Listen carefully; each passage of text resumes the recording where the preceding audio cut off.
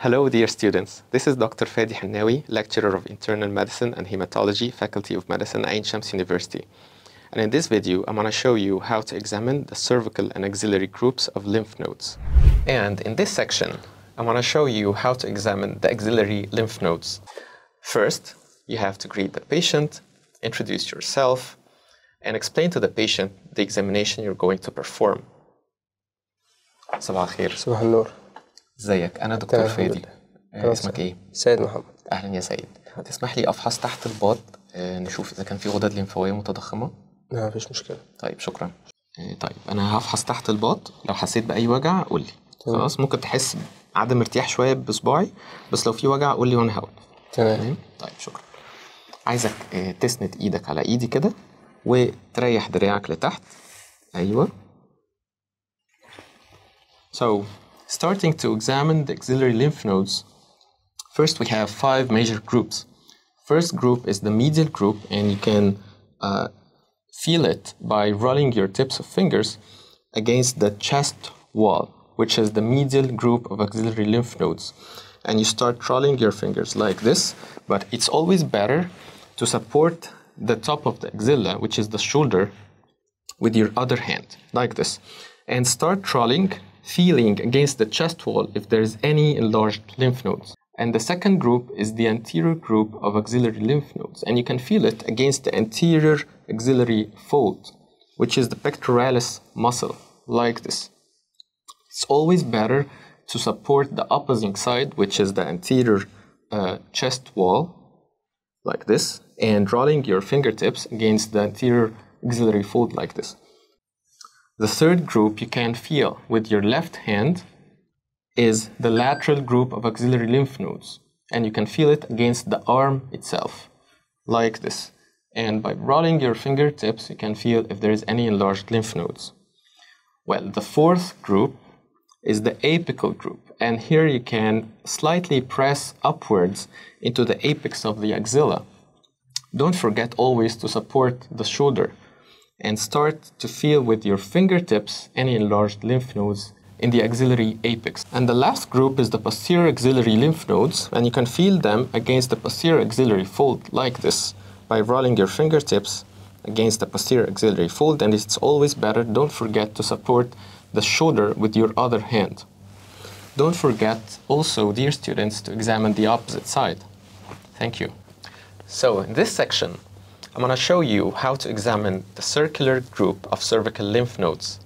So first, you have to greet the patient warmly, introduce yourself, and explain the procedure or the examination you're going to perform on the patient. صباح الخير صباح النور ازيك الحمد لله تمام آه، انا اسمي دكتور فادي أهلا آه، وسهلا اسمك ايه سيد محمد اهلا يا سيد لا أه تسمح لي أه آه، عايز أفحص رقبتك وندور على غدد لمفاويه لو ما عندكش مشكلة. ما فيش مشكلة. طيب شكرا.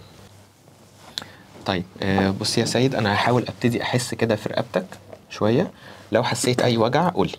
تمام. طيب. So first step is to examine the submental lymph nodes followed by the submandibular lymph nodes followed by the tonsillar lymph nodes. Followed by the preauricular then postauricular then occipital this is in order the lymph nodes we're going to examine right now so starting with the submental lymph nodes, it's always better for the submental especially to examine while supporting the head with the other hand and slightly flexing the head downwards a little bit.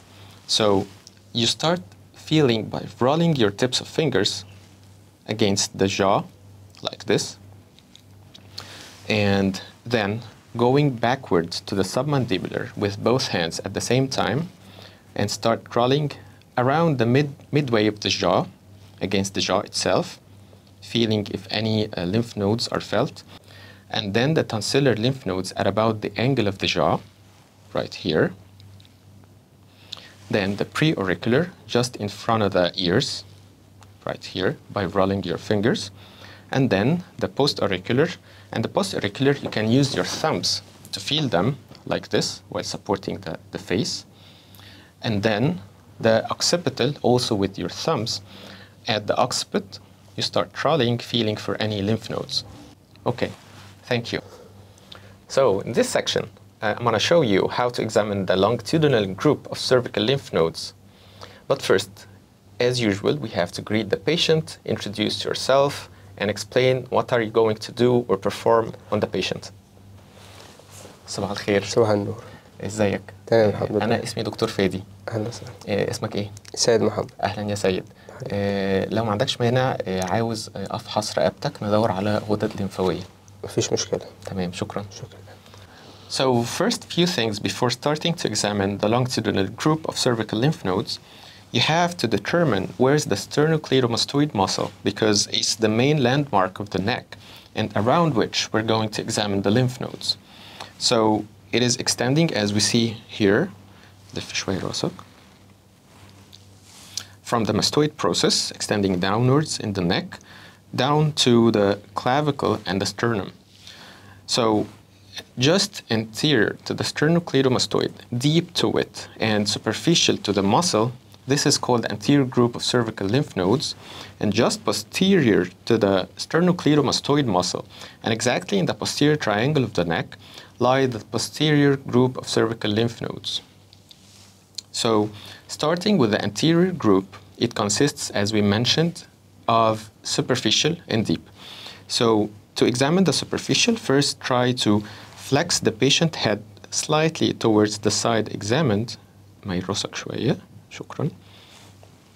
And start feeling by rolling your fingertips along the sternocleidomastoid muscle like this from the upmost position downwards and then by uh, gripping the sternocleidomastoid like this and start to feel by rolling your fingertips also going downwards like this feeling for any enlarged lymph nodes right?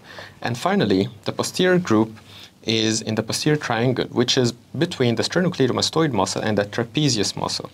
And it lies exactly here and you can feel it by also gripping the sternocleidomastoid muscle and feeling with your thumb like this also rolling and searching for any enlarged lymph nodes from upwards going downwards. And also please don't forget to examine the other side of the neck.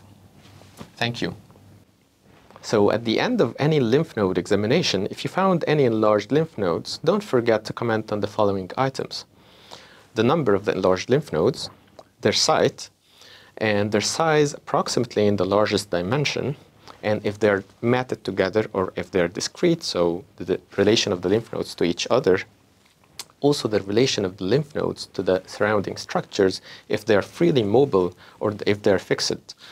Also, the consistency of the lymph nodes, whether they're hard or firm or soft. Also, the tenderness of the lymph nodes, if they are tender or not. Also, don't forget to examine the overlying skin overlying the, to the lymph nodes. If there are any if there are any ulcerations or any abnormality in the skin. Also, don't forget to examine the drainage areas specific to this lymph node group. So, my dear students, this is the end of our video. I hope it was helpful to you, and I wish you all the best of luck. Thank you.